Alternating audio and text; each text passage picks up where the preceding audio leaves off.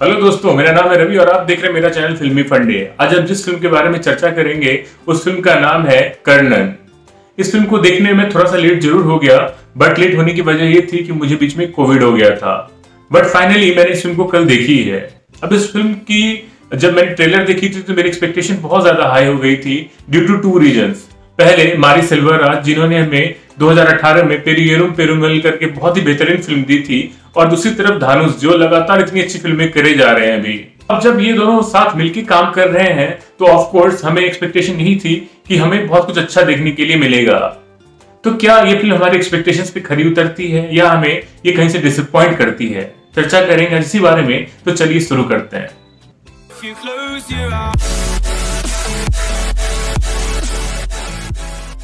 सबसे पहले सबसे ज़रूरी बात, जब भी आप कर्नल देखने के लिए बैठे तो मन में आप धनुष की सारी पुरानी फ़िल्मों को एक साइड रख दें और कर्नन को फिर देखने के लिए बैठे। हैं स्पेशली अगर आप असुरन देख के आए हैं और फिर आप कर्नन देखेंगे तो शायद आप कहीं ना कहीं कंपैरिजन मन में लेके चलेंगे। बट अगर आप ऐसा करेंगे तो आपको कुछ साइड डिसअपॉइंटमेंट मिल सकती है। डिसअपॉइंटमेंट इसलिए मिल सकती है क्योंकि असुरन एक कमर्शियल फ़िल्म थी, एक मास फ़िल्म थी मास एंटरटेनर थी।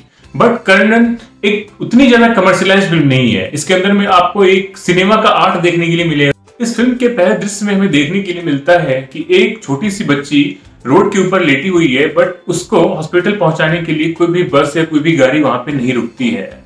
अब इसकी वजह क्या है, ये तो फ़िल्म में आगे पता चलता है। अब बात करें, अगर फ़िल्म की कहानी की तो फ़िल्म की कहानी शुरू होती है तमिलनाडु के एक छोटे से गाँव से, जो कि एक तरीके से बहुत ही पिछड़ा हुआ गाँव है। पिछड़ा इस वजह से क्योंकि वहाँ की गवर्नमेंट, वहाँ की पुलिस डिपार्टमेंट, वहाँ के लोकल्स हर कोई इस गाँव को इग्नोर कर रहा है। एक तरीके से उनको वो वेस्टलैंड समझते हैं। इस गाँव के तरफ़ इग्नोरेंस इतनी ज़्यादा होती है कि इवन एक बस स्टॉप भी इस गाँव के अंदर नहीं बनाया जाता है, जिस वजह से गाँव वालों को पास के गाँव में जाना पड़ता है। और उन्हें बहुत सारी बेजती का भी सामना करना पड़ता है। अब गाँव वाले और कर्णन इस बात से बहुत परेशान होते हैं कि उनके गाँव में बस क्यों नहीं रुकती है। उन्होंने सरकार को बहुत सारी अर्जियाँ दी हैं, बहुत सारी चिट्ठियाँ भी लिखी हैं, बट अब तक उनके गाँव में बस स्टॉप नहीं बना। अब बस को रुकवाने के लिए गाँव वाले कर्णन के साथ में बहुत कुछ ऐसे स्टेप्स भी लेते हैं, जिससे कि शायद उनको उम्मीद होती है कि बस आगे गाँव में रुक जाएगी। बट ऐसा होता नहीं है। इनकी जद्दोजहद चलती रहती है और इसी के ऊपर में कहीं ना कहीं इस फ़िल्म की कहानी लिखी गई है।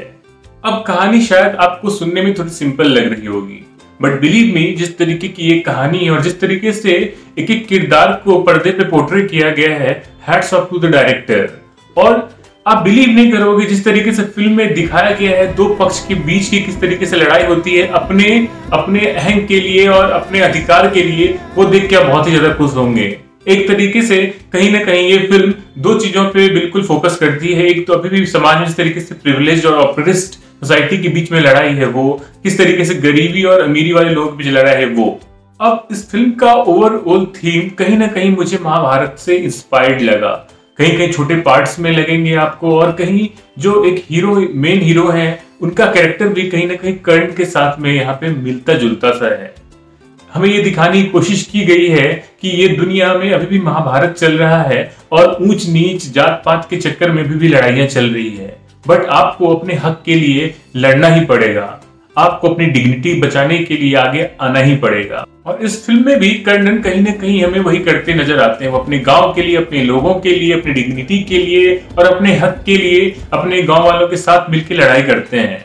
अब बात कर लेते फ़िल्म में क्या अच्छा है और क्या बुरा है। सबसे पहले इस फ़िल्म की अगर अच्छाइयों की बात करें तो सबसे पहले जिसकी राइटिंग है और इसका जो डायरेक्शन है, वो इतना बेहतरीन है कि आप इस फ़िल्म से पूरी तरीके से जुड़ जाते हो। आप शुरू से ही कहानी के तरीके से बन जाते हो। शायद आपको लगता है कि हम भी इसी गाँव के कैरेक्टर हैं।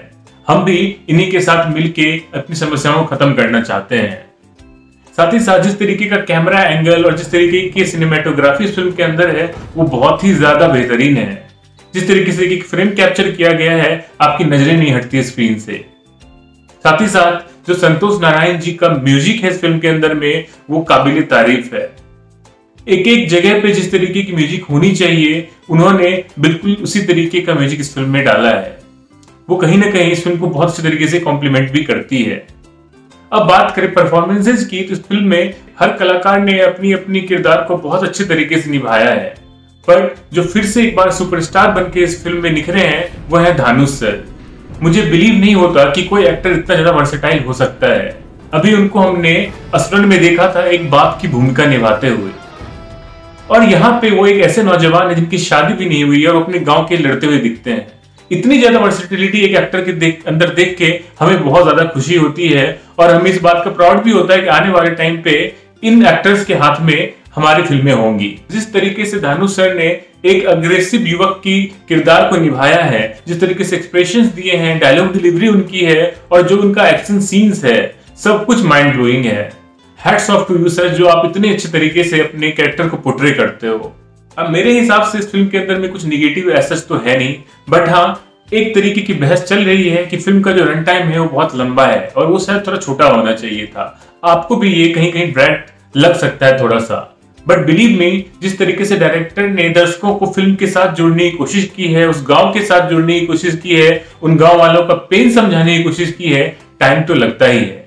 और साथ ही साथ जिस तरीके का इस फ़िल्म का क्लाइमेक्स है, उस क्लाइमेक्स तक पहुँचने के लिए एक अच्छी कहानी का बनना बहुत ज़रूरी होता है। तो मेरे हिसाब से इस फ़िल्म में मुझे कोई रन टाइम की प्रॉब्लम नहीं लगी। जो दूसरी निगेटिव पॉइंट लोगों को लग सकती है, वो ये लग सकती है कि फ़िल्म बहुत ज़्यादा कमर्शियल नहीं है। इसमें आपको वो नाच गाना मार धार उस, उस लेवल का नहीं मिलेगा।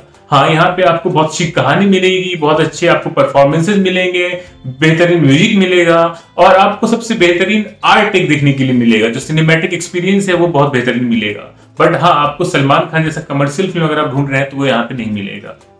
मेरे हिसाब से अगर एक वर्ड में बताऊँ तो this film is for classes and not for masses तो ये था मेरा रिव्यू कर्नन के लिए। अगर बात करें रेटिंग की तो मेरी तरफ़ से फ़िल्म की रेटिंग रहेगी four star out of five और आई विल डेफिनेटली रिकमेंड कि अगर आप मूवी लवर हो तो एक बार इस फ़िल्म को ज़रूर ट्राई करें। आपको ये फ़िल्म कैसी लगी, मुझे कमेंट करके ज़रूर बताएँ। और अगर आप किसी और फ़िल्म या किसी और सीरीज़ का रिव्यू चाहते हैं तो वो मुझे कमेंट करके बताएँ। मिलेंगे जल्द ही एक नए वीडियो के साथ। तब तक के लिए अपना ध्यान रखें, खुश रहें। जय हिंद।